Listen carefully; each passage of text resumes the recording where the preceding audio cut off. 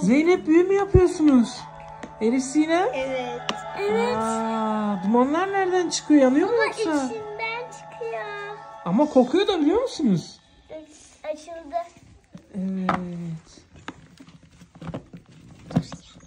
Olmuyor.